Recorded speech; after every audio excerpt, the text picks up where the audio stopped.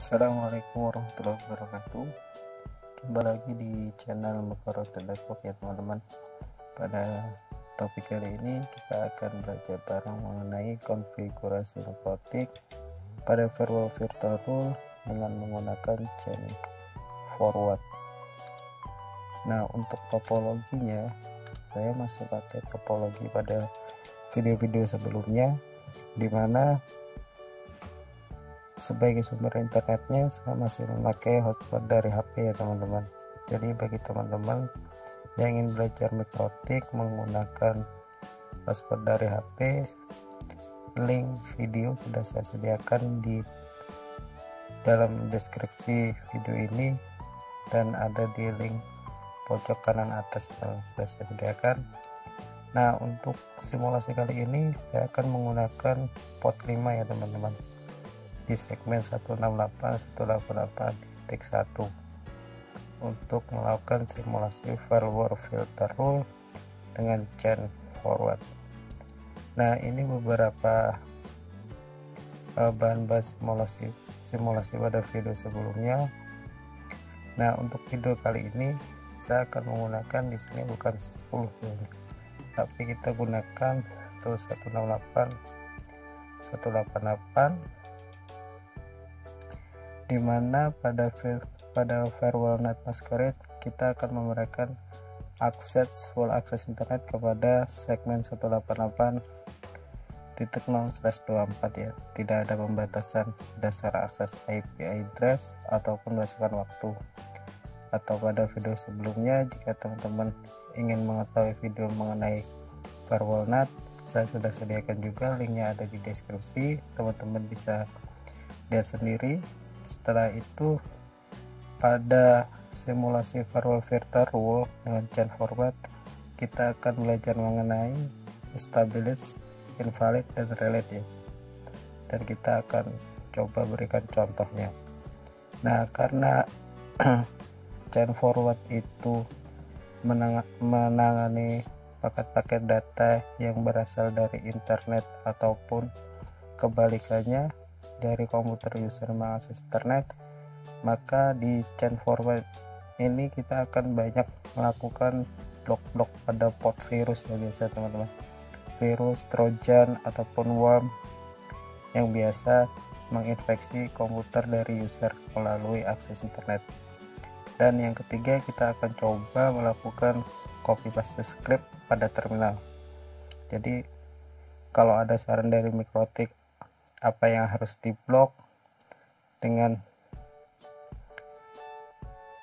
penambahan secara otomatis kita tinggal copy aja scriptnya dan kita bahas ke terminal. Kita akan coba contohkan caranya. Oke untuk praktek biasa kita akan buka winbox. Dan di sini saya akan menggunakan segmen yang 168 ya teman-teman. 188 oke kita masuk menggunakan IP bagi teman-teman yang belum setting IP DHCP server bisa masuk melalui MAC address ya. Oke kita connect. Nah kita lihat dulu. Saya tampilkan dulu IP yang didapat dari laptop saya yang saat ini kita pakai untuk melakukan simulasi. Di sini saya sudah mendapatkan IP 188.2 nah bagi teman-teman yang ingin belajar mengenai DHCP server saya juga sudah siapkan link ada di deskripsi video kali ini ya teman-teman.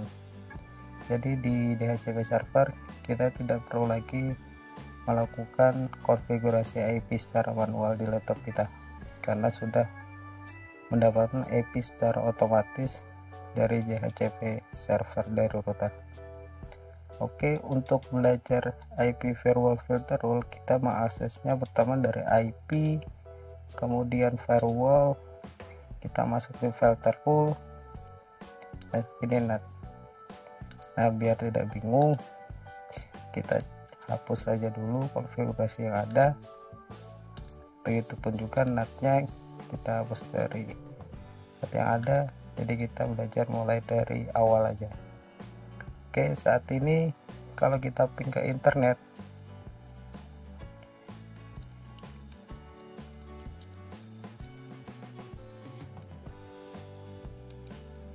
kita belum bisa melakukan akses ke internet karena kita belum memberikan akses NAT kepada segmen 188 ini oke caranya kita beri tambahkan chainnya source NAT setelah itu kita beri source address nya aja teman-teman. Secara manual aja.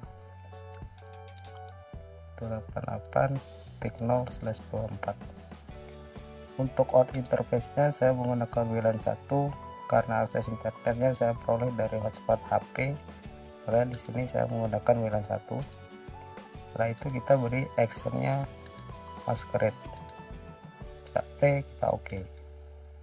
nah di sini kita coba ping lagi. 88 sudah jalan artinya laptop kita bisa sudah terkoneksi internet. Atau lebih untuk lebih memastikannya kita coba akses ke internet ya teman-teman.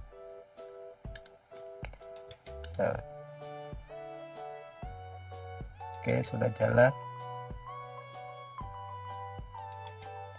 nah setelah itu untuk uji coba pertama kali simulasinya kita coba simulasi gini dulu teman-teman untuk filter nah secara default filter rule itu sudah aktif sebenarnya teman-teman.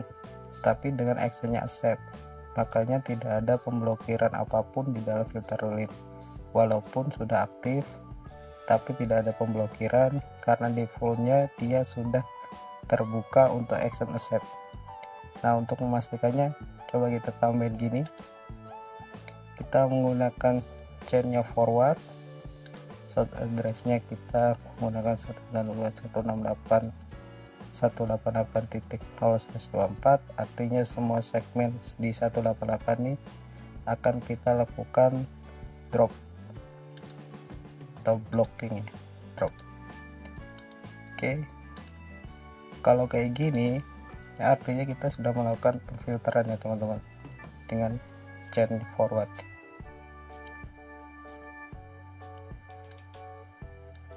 Nah di sini tampak laptop kita sudah tidak bisa koneksi ke internet teman-teman ya. Tapi dari router kalau kita ping ke 88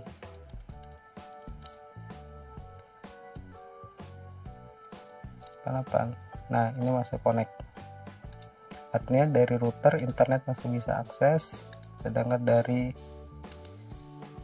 klien atau user di bawah router dia sudah tidak bisa melakukan akses internet karena kita sudah lakukan drop. Nah dari sini teman-teman bisa ambil kesimpulan bahwa di natnya kita sudah berikan akses semua full akses pada segmen 188 tetapi jika ada filter yang menggunakan action drop pada segmen 188 juga otomatis internet ke drop teman-teman ya.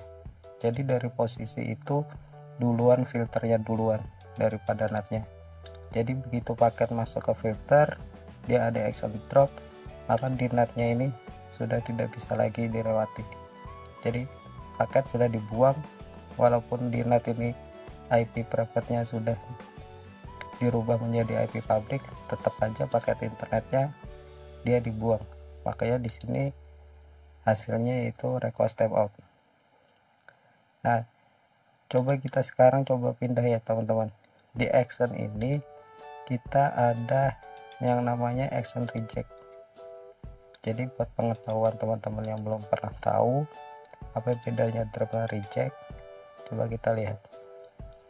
Nah kalau reject dia yang keluar yaitu replay 188.1 cuman ada keterangannya di sini. Destination net unreachable ya. Jadi bagi teman-teman yang pernah melakukan ping kenapa yang biasa yang keluar request out tapi kadang juga yang keluar destination reachable nah kalau destination reachable artinya dia ada dilakukan reject dari routernya. Oke kalau teman-teman sudah tahu kita lanjut. Kita pakai X nya drop aja ya teman-teman. Oke oke. Sekarang untuk mempersempit simulasi kita kita hanya akan berikan akses internet di IP 188 ini aja teman-teman. Kita tambahkan dulu di IP 1 dan 2168 188 titik 2 actionnya accept oke nah perhatikan teman-teman. Setiap kita melakukan pembuatan filter ruang terbaru dia posisinya ada di bawah ini ya teman-teman.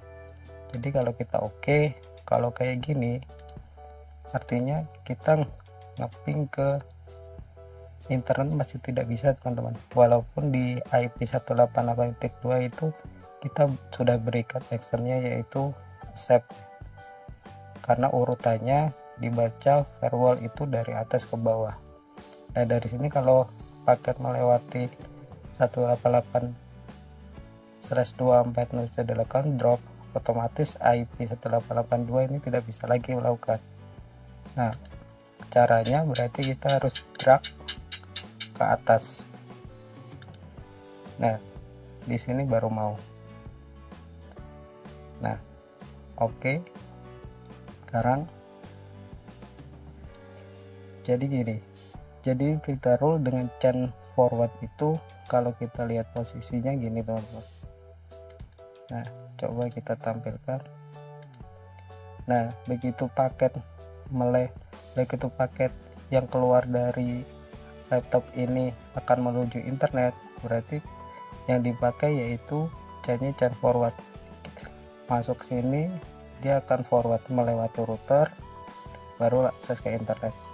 Makanya pada chain forward itu lebih banyak kita melakukan blok-blok untuk pot-pot virus atau pot-pot trojan atau pot-pot yang berhubungan dengan internet. Oke contoh. Untuk contoh kita mau melakukan blok terhadap uh, portnya virus teman-teman. Misalkan di sini kita akan tambahkan gini ya. Nah untuk actionnya drop. Setelah itu chainnya forward. Source addressnya kita biarin aja. Atau kita kasih aja atau 92168 itu 88 titik dua ya sesuai simulasi. Biar tidak terlalu luas. Ini bisa aja teman-teman lakukan short addressnya slash 24 juga. Jadi semua segmen 188 kena semua. Nah untuk protokol ya kita melakukan protokol TCP IP atau TCP berikutnya destination portnya 135 misalnya sampai 139 untuk keterangan-keterangan destinasi spot untuk virus-virus bisa teman-teman cari sendiri di internet banyak. Nah sekarang kita actionnya dan bakal actionnya drop. Udah kita play. Nah oke. Okay. kita tarik ke atas.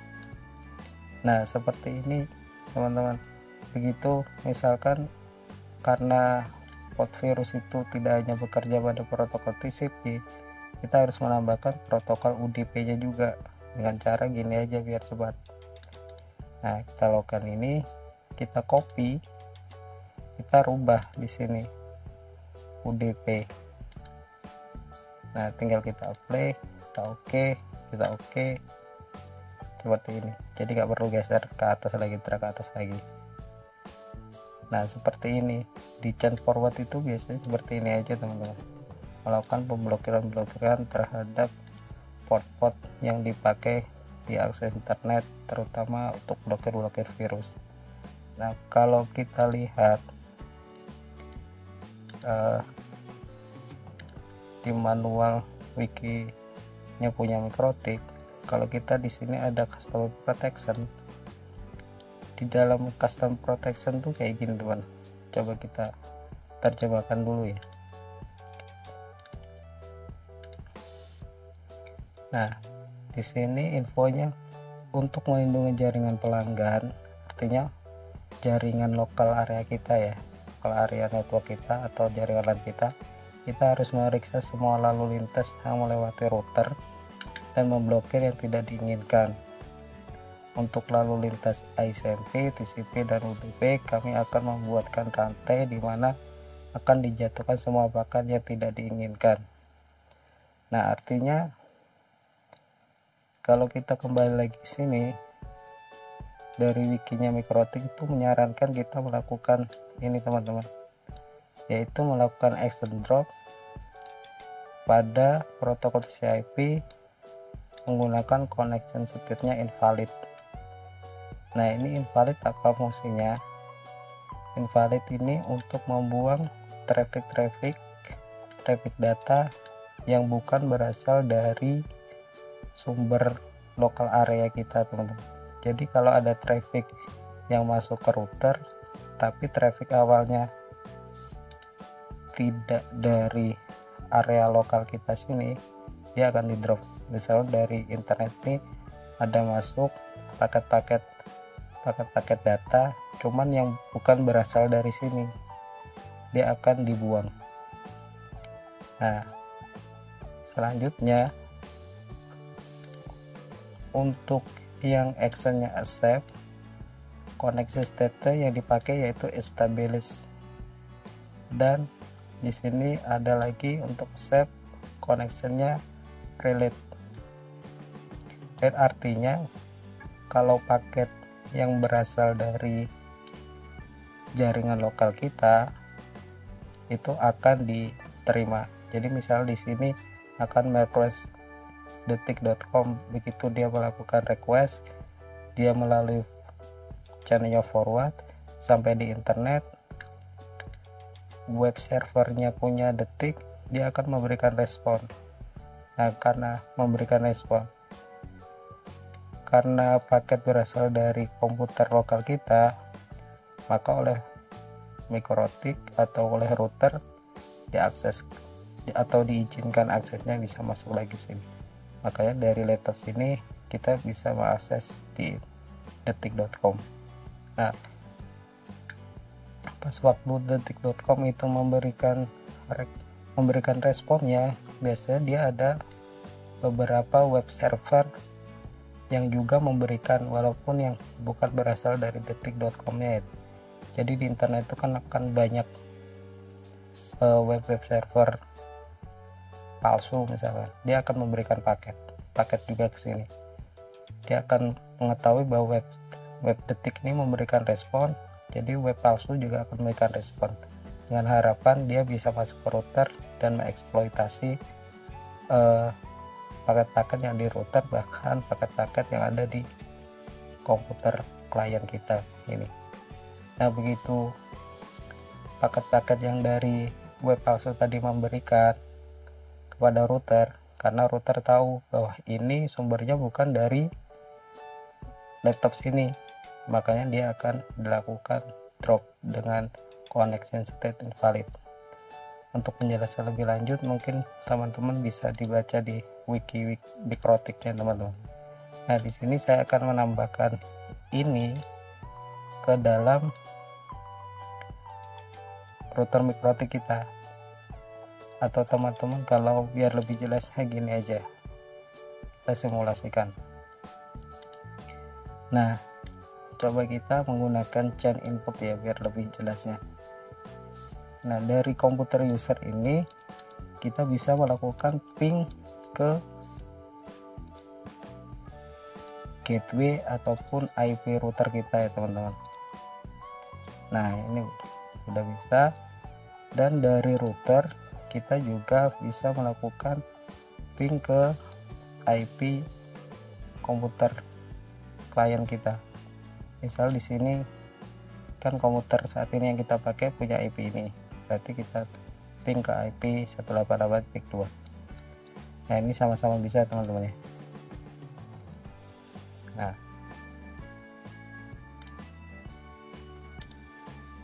Karena untuk kepentingan security kita akan blok dari sisi user bahwa user itu tidak boleh bisa melakukan ping ke IP routernya.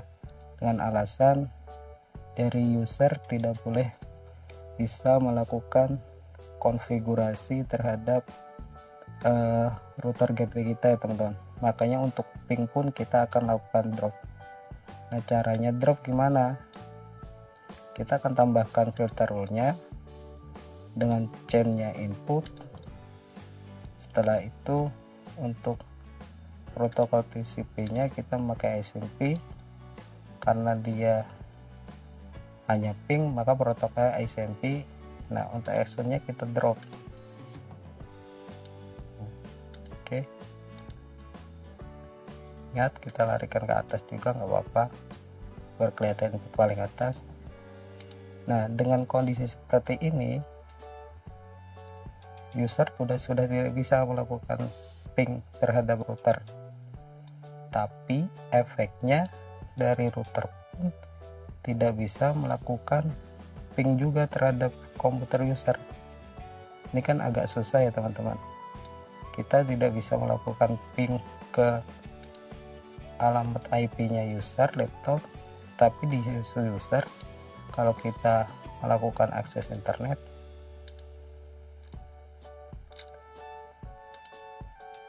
nah dia masih jalan. Kan ini agak sulit juga ya teman-teman untuk troubleshooting di jaringan kita.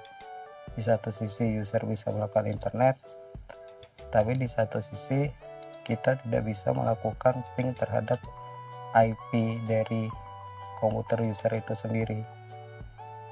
Nah berarti artinya walaupun user tidak bisa melakukan ping ke IP router kita tetapi harusnya dari router kita bisa melakukan ping.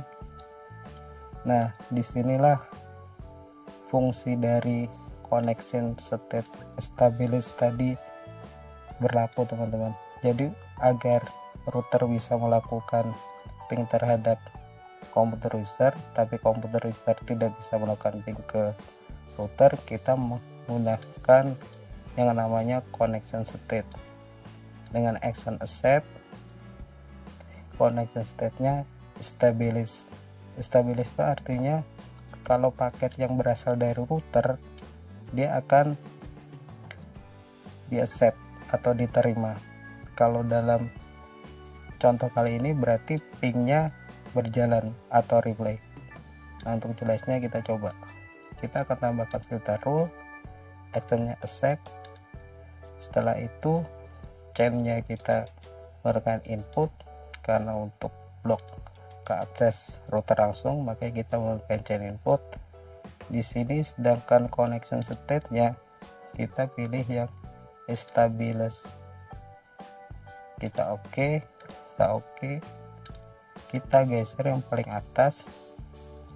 Harusnya di sini dari user dari komputer user dia masih tidak bisa melakukan ping terhadap IP gateway atau IP router kita.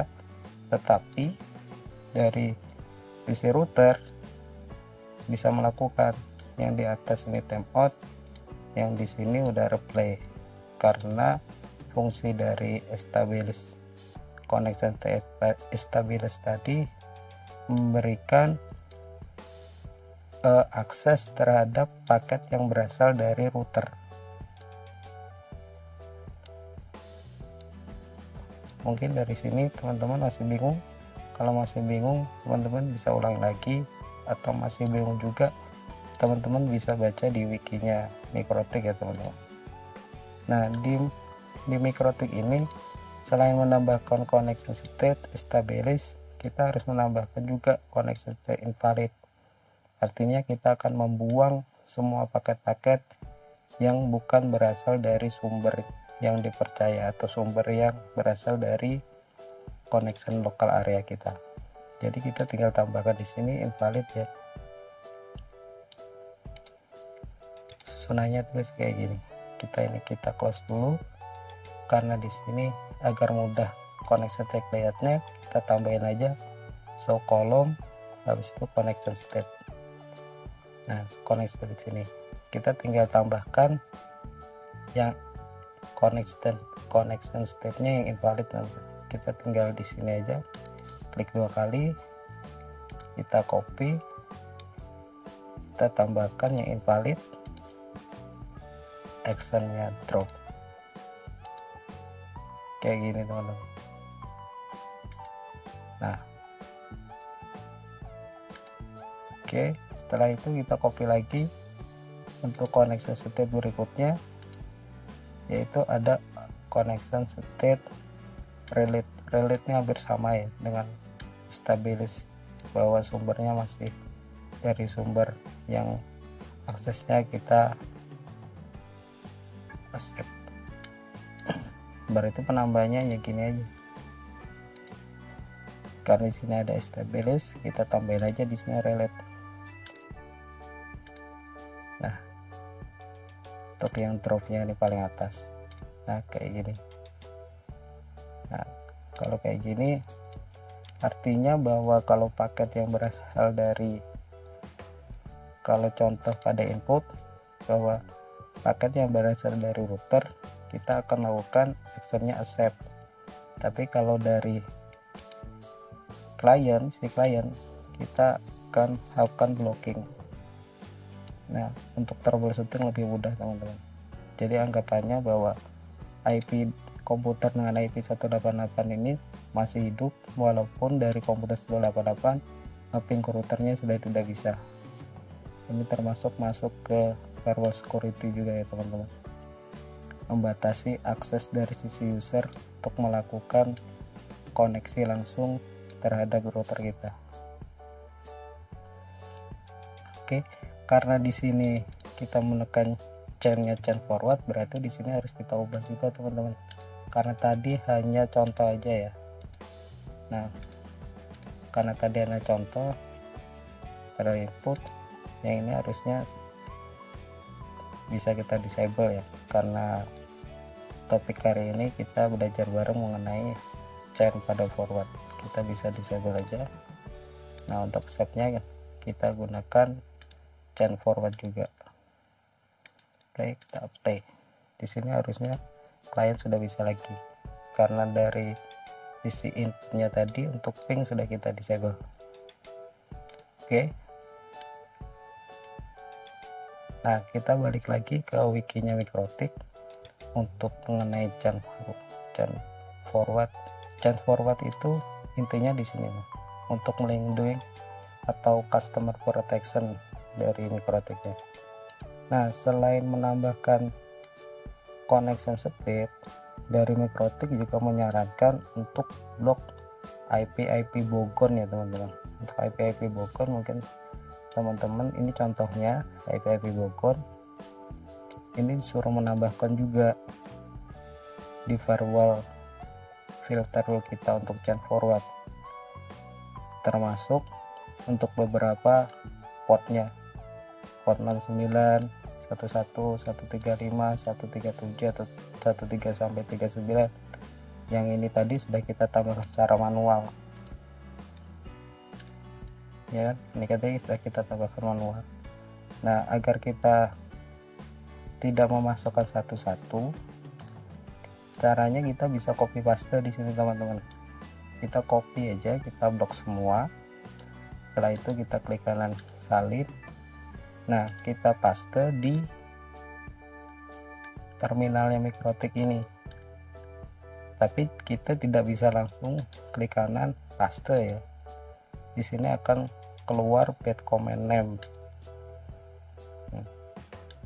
biar teman-teman tahu di sini kan posisinya ini masih di posisi default teman ya. Kita belum masuk ke menu karena menu masuk menu firewall itu kan kita harus mengakses IP firewall baru ke filter ya. Berarti di sini harus begitu juga di command prompt atau di terminal mikrotik. Kita harus masuk ke IP